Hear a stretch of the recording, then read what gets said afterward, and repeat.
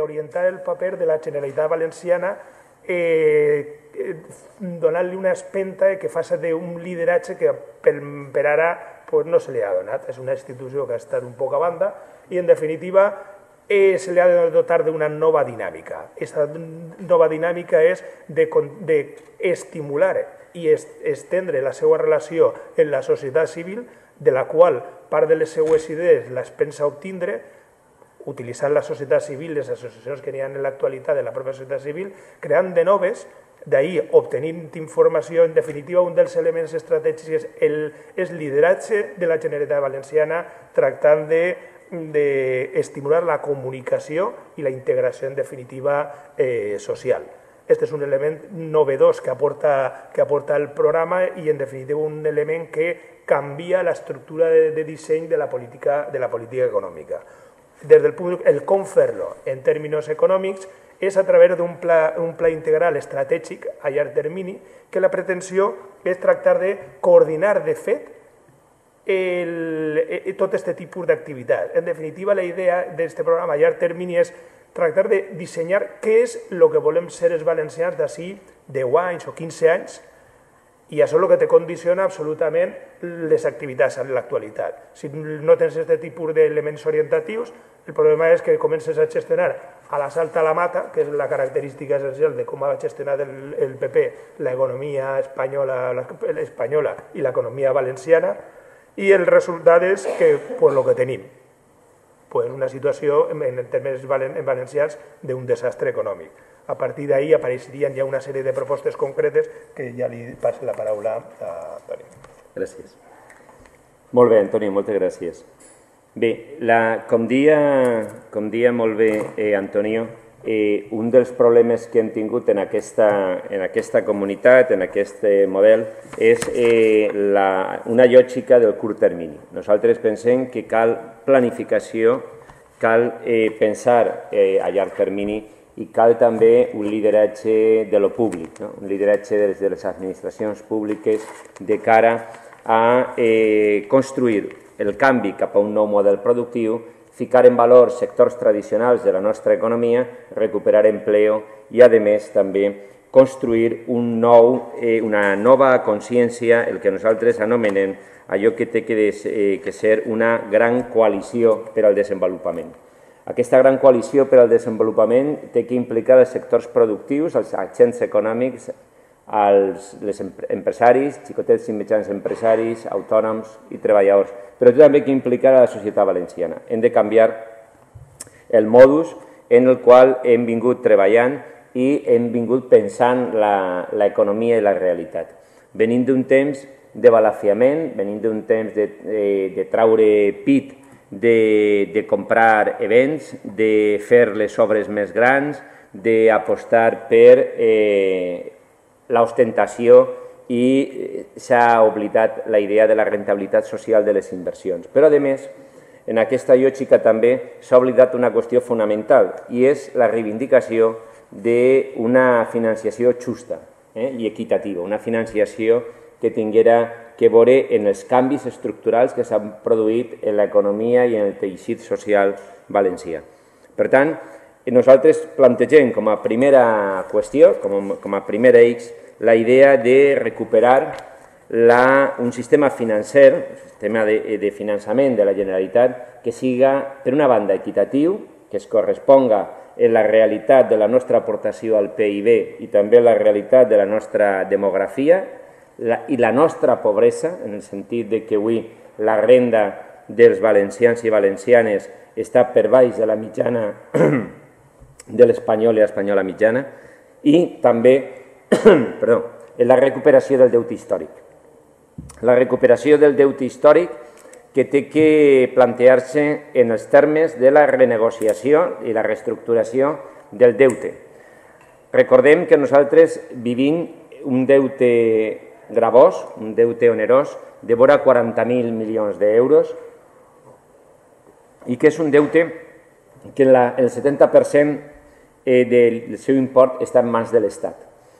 Eh, no, no, ens serveix, no ens serveixen les, els arguments del ministre de Guindos ni dels representants polítics del PP quan diuen que això és una sort perquè ens deixen diners a tipus d'interès zero, etc etc.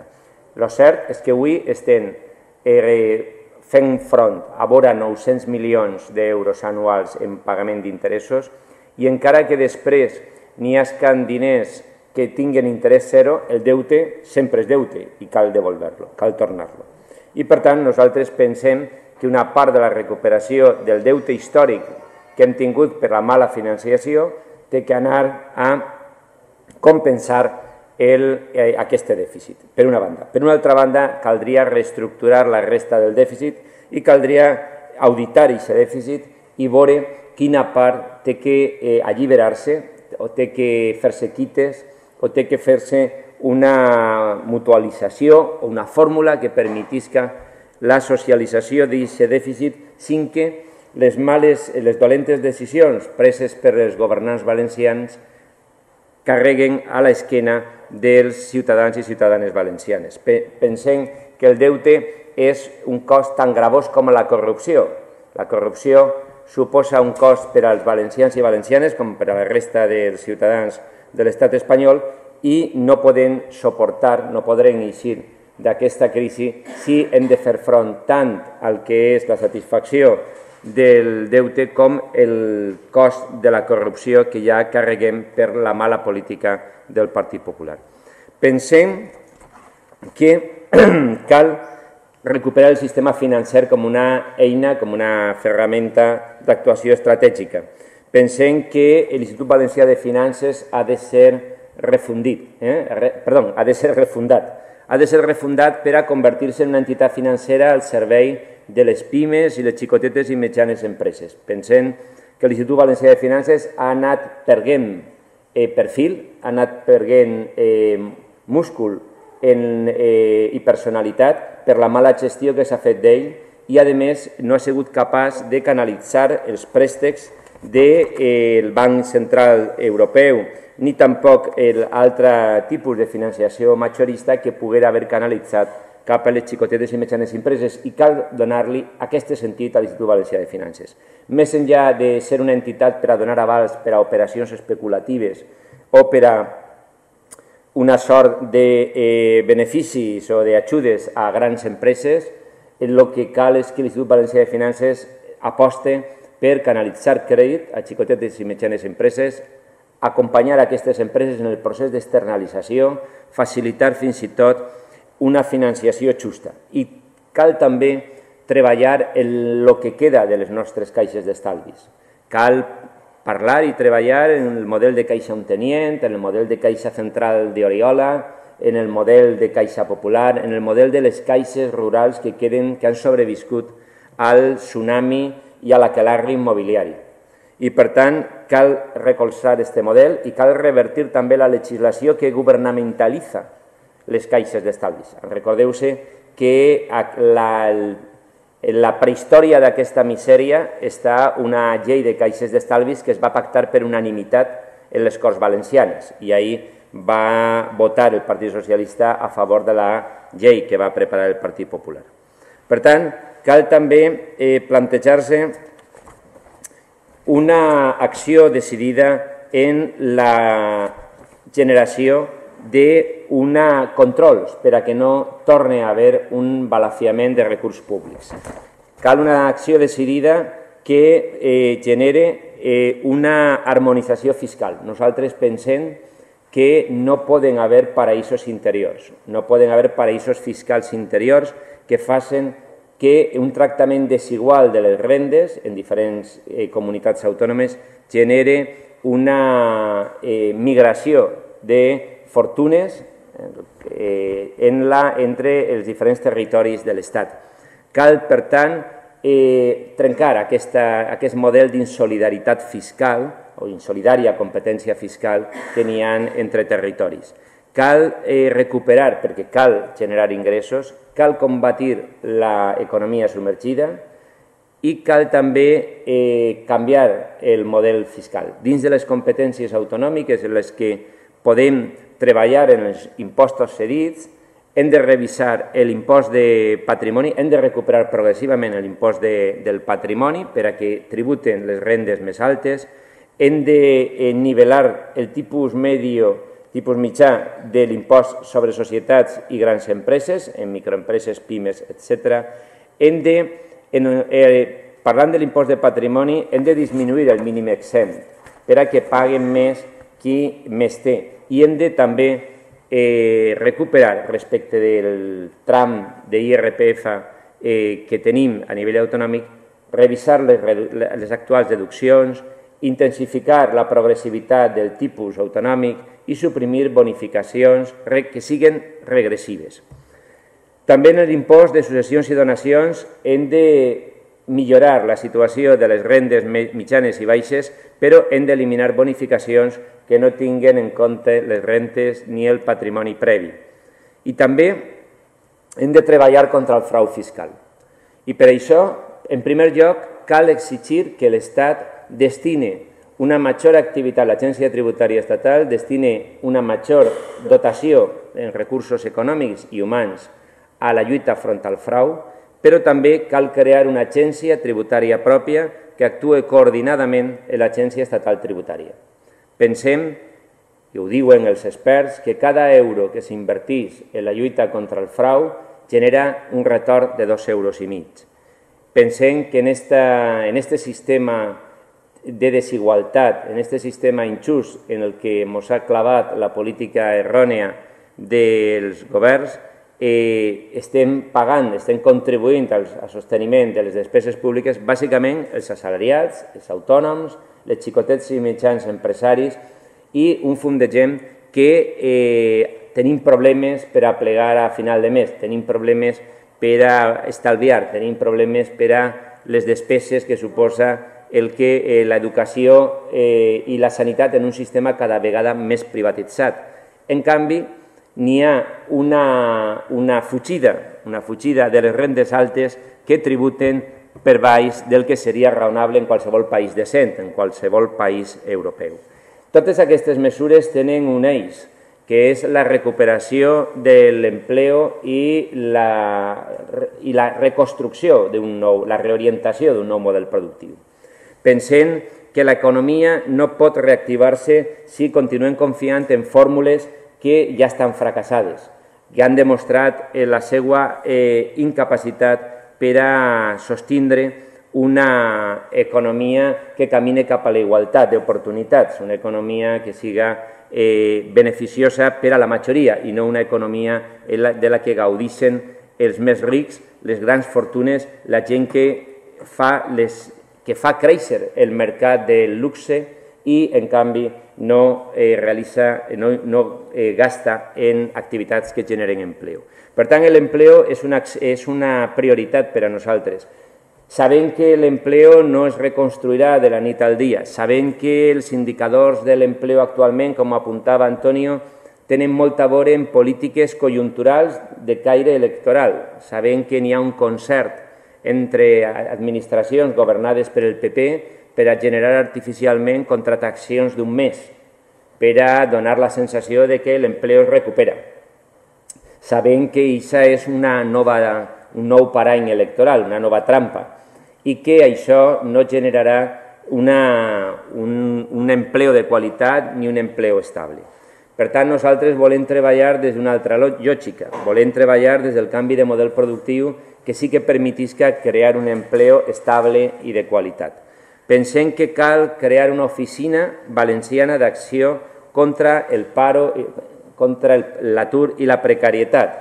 Pensem també que n'hi ha que eh, fer una intervenció directa per a la formació de tal manera que l'empleo que es cree siga un empleo qualificat i pensem que cal treballar en, eh, molt a prop de les mitjanes i xicotetes empreses perquè són les que sostenen el, el gros de l'empleo en la nostra comunitat, perquè són part estructural de la nostra cultura eh, des del punt de vista social i des del punt de vista empresarial. Pensem també que cal eh, treballar de la mà en el xicotet i mitjà comerç. Pensem que cal derogar la llei de, que actualment regula la llibertat de, com de comerç, la llibertat d'horaris en funció d'aquestes zones turístiques tramposes que s'han inventat. pensem que cal recuperar el comerç de, la lògica, del, el model de comerç de proximitat i la lògica també d'un xicotet i mitjà comerç que no a soles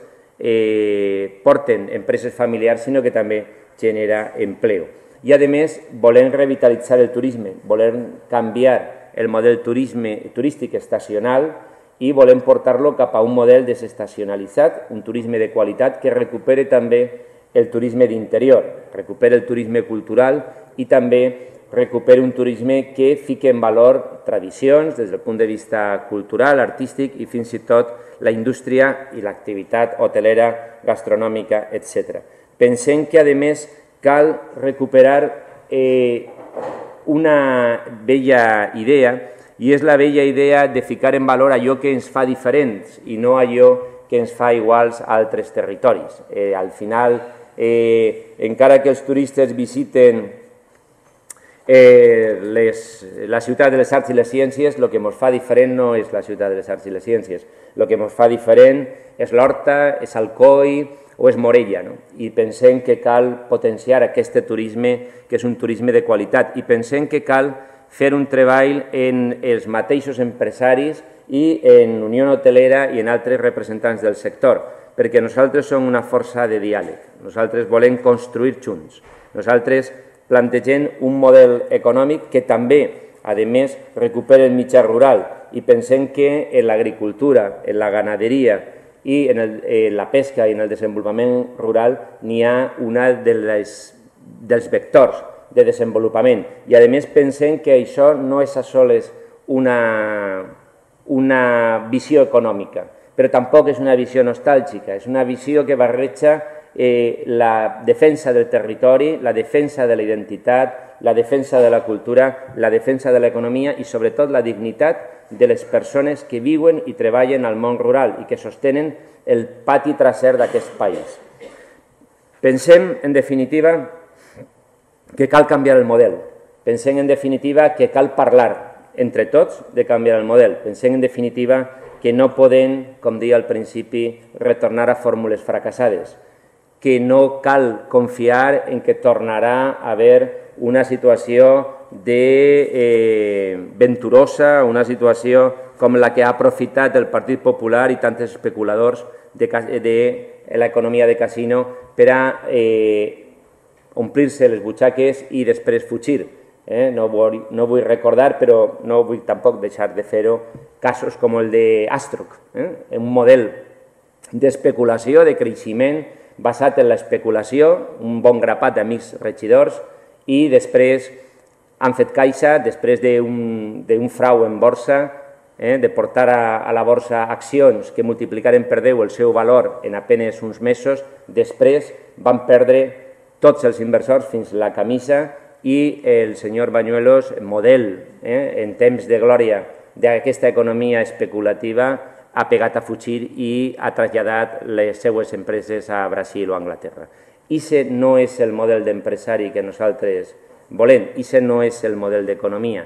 Nosaltres volem treballar en gent que té un projecte, que arrisca els seus diners, que treballa i que crea riquesa i empleo. Nosaltres volem treballar colze a colze en els sindicats, en els empresaris, en els xicotets i mitjans empresaris, en els autònoms i sobretot volem treballar per a la gent. Moltes gràcies.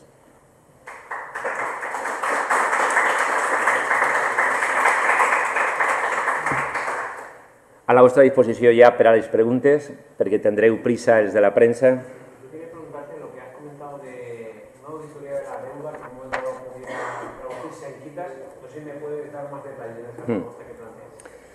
Sí, nosotros siempre hemos defendido la idea de, auditar la deuda. ¿eh? Eh, ¿Qué significa esto? Significa que hay que tenemos derecho a saber dónde está el origen de la deuda. Nosotros creemos que la deuda contraída no ha ido a inversiones productivas, sino que en buena medida ha ido a gastos superfluos y a grandes eventos innecesarios. Y aunque esto no tenga consecuencias penales, creemos que tiene consecuencias morales y políticas. Y por tanto creemos que los valencianos y las valencianas tienen derecho a hacer ese análisis, a conocer los resultados de esa auditoría. Y además queremos hacerlo a través de la sindicatura de cuentas, dotándola de instrumentos y dotándola de mayores competencias.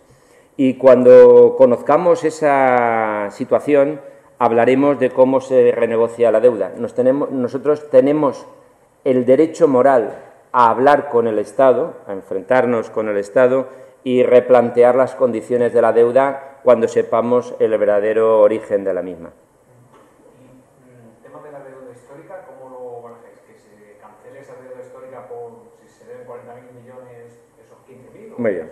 En todos los sistemas eh, de relaciones eh, económicas, e incluso entre administraciones, existe el mecanismo de compensación de deudas. De tal manera que nosotros pensamos que una vez fijado el importe de la deuda histórica, que nosotros estimamos que estaría en torno a 12.800 millones, podríamos compensar directamente con los 37.376 que ahora, o por lo menos cuando hemos entrado a esta reunión, cuando salgamos a lo mejor ya es algún millón más, le debemos al, Estado. Entonces, a partir de ahí eso nos reduciría eh, la deuda casi en un tercio. ¿eh? y bueno, nos haría más fácil la negociación. Eso unido a la auditoría para cargarnos de legitimidad para también renegociar. Hay quien eh, plantea que la deuda histórica tiene, perdón, el déficit tiene una explicación, pero nosotros tenemos la firme sospecha de que tiene varias. Y a lo mejor resulta que una parte de ese déficit no nos lo merecíamos. Y por lo menos creemos que tenemos el derecho y la obligación de hacer públicos esos datos.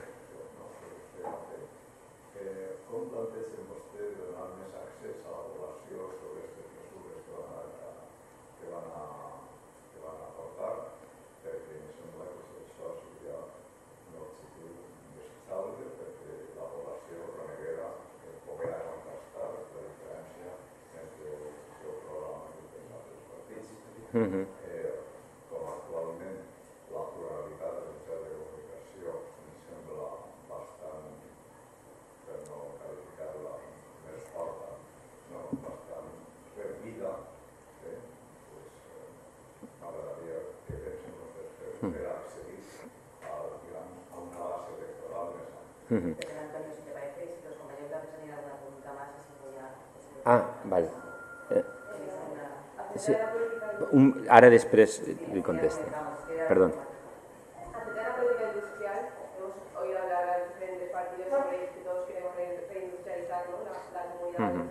¿Cuáles son las primeras patas para, para empezar? Porque sí que tenemos el tema de, de Horizonte 2020 de la Unión Europea, eh, la pero no sé cuál es la primera piedra a poner para empezar ese nuevo modelo, si por ejemplo incluye los institutos tecnológicos que hasta ahora pues, parecen una, aunque tienen más o menos una pata principal, ¿cómo se enfoca?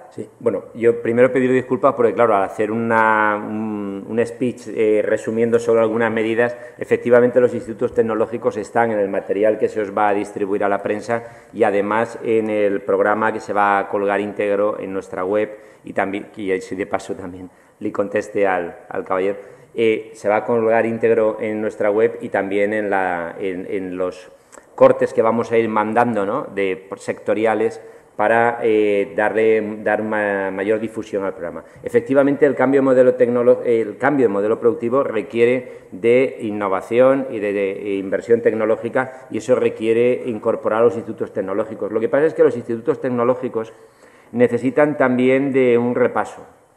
¿eh? digamos que tenemos que eh, favorecer que los institutos tecnológicos sean más transparentes y tengan también una gobernanza más democrática. Eh, algunas experiencias hay de que eh, a veces los institutos tecnológicos reproducen algunos esquemas eh, poco operativos, algunos esquemas muy como de una, una, estructura que no está en sintonía con la dinámica industrial y con la dinámica social. Y por tanto hay que rescatar los institutos tecnológicos para dinamizarlos y para favorecer una gobernanza y una, más democrática. Luego también eh, lo que hay que pensar en el modelo industrial, primero hemos de apoyarnos en los, en los elementos que ya son parte de nuestra tradición y nuestros ejes. Por ejemplo, pues no sé, estaba pensando ahora en la industria eh, juguetera o la industria de la cerámica o la industria del calzado o en otros sectores que son, eh, forman parte de nuestro saber hacer, de nuestro know-how. Eh, pero también estoy pensando, por ejemplo, en que hay muy poca investigación aplicada a la agricultura y nosotros queremos productos agrícolas de calidad, queremos generar una marca para los productos eh, en valencianos. No solo generar el consumo de proximidad y, por ejemplo, introducir productos de kilómetro cero en comedores de escuelas y hospitales con el tiempo, sino también queremos favorecer los mercados de proximidad, como en otros países de Europa o Estados Unidos ya ocurre, pero queremos dotar de marcas de calidad a una serie de productos que queremos además colocar en el mercado internacional. Eso también significa que tiene que haber una vertiente de trabajo en infraestructuras para mejorar también las obras eh, públicas necesarias para hacer que nuestros productos lleguen a todos los mercados.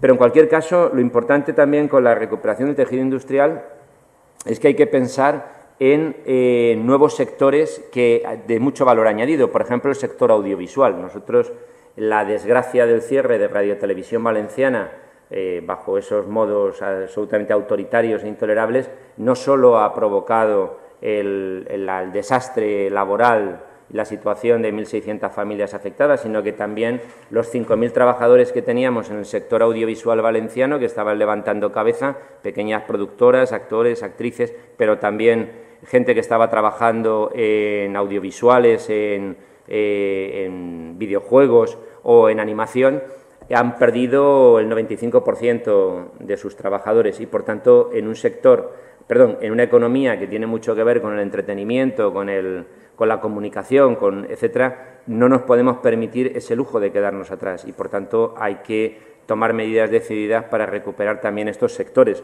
Parte de los mejores estudios de animación del mundo están en Valencia y nadie lo sabe. Entonces, eh, me parece que deberíamos de empezar a generar la cultura de la confianza y, la, y el orgullo también, dejar de sentir vergüenza a veces cuando fuera nos reprochan que tenemos políticos que derrochan el dinero, que cuentan billetes, que hacen aeropuertos sin aviones y recuperar el orgullo, sacar pecho de que aquí hay gente que trabaja mucho y trabaja bien. Eh, el mismo sector de, obras públicas está exportando talento, exportando tecnología. Eh, yo creo que, que hay que sacar pecho de eso y hay que trabajar con esta gente para lo que decía una gran coalición para el desarrollo.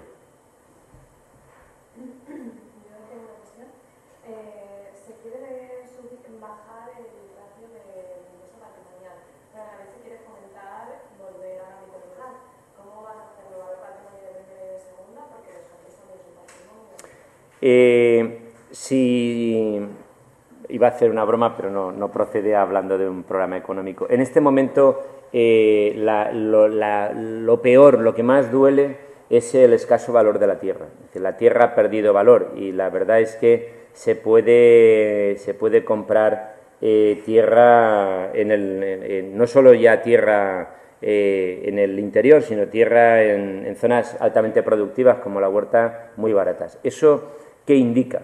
Indica que hemos perdido la oportunidad de hacer, del sector primario un sector potente, un sector que además eh, era cantado hace más de mil años ya en, toda, en todo el Islam como eh, un sector que producía y que abastecía y cuyos productos eran considerados de alta calidad en toda la Europa y en, y en el Islam medieval. Es decir, en fin, esto ya es erudición innecesaria. Pero quiero decir que eh, el patrimonio rural, por desgracia, ha perdido valor. Los agricultores, la gente que vive en las comarcas de interior, practica la ganadería o la agricultura, eh, está haciendo verdaderos sacrificios. No hay patrimonios de primera y de segunda. Cuando hablamos de bajar el mínimo exento de 700.000 a 400.000 euros, estamos hablando de ponderar además las circunstancias. En este momento, tener una casa en una comarca de Los Serranos y varias hectáreas de tierra de cultivo no da para sobrevivir a una familia. No tengo miedo de que se sientan perjudicados por el impuesto de patrimonio. Más cosas. margen de lo que habéis presentado, esta misma noche comienza la campaña electoral y a mí me gustaría que hiciera una breve reflexión de cómo la, la ve, cómo la afronta y si cree que la crisis interna que se ha destapado en, en su partido a nivel nacional le puede pasar factura aquí en la sociedad. Bueno, yo niego la mayor. Nosotros no tenemos crisis, nosotros lo que tenemos son paredes de cristal.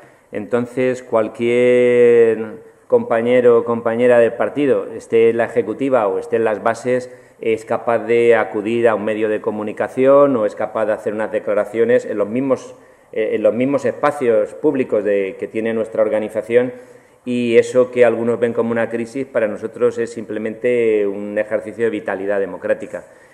No nos gusta el, esta concepción de los partidos monolíticos, los partidos autoritarios, los partidos silenciosos, ¿no? estos de los que si alguien se mueve ya no sale en la foto. Aquí la gente se mueve y sigue saliendo en la foto. Entonces nosotros pensamos que no nos va a afectar en la campaña electoral, creemos que es un, si, si se me permite la expresión, es un aguijón estimulante el que haya personas que tengan criterio propio en esta organización y además yo creo que eso es saludable. A partir de ahí afrontamos la, campaña electoral con muchísima ilusión, con muchísima energía, trabajando con los escasos medios que tenemos, trabajando con los microcréditos que están aportando los ciudadanos, trabajando con centenares y miles de voluntarios que, que no solo han trabajado eh, duro desde hace ya meses, sino que ahora van a echar el resto en los días que quedan de campaña electoral. Vamos a llegar a todos los pueblos de la comunidad valenciana, vamos a hacer muchos actos, vamos a ser siempre muy transparentes, vamos a facilitar toda la información y cuando el día 25 eh, estemos en el Gobierno vamos a seguir siendo iguales.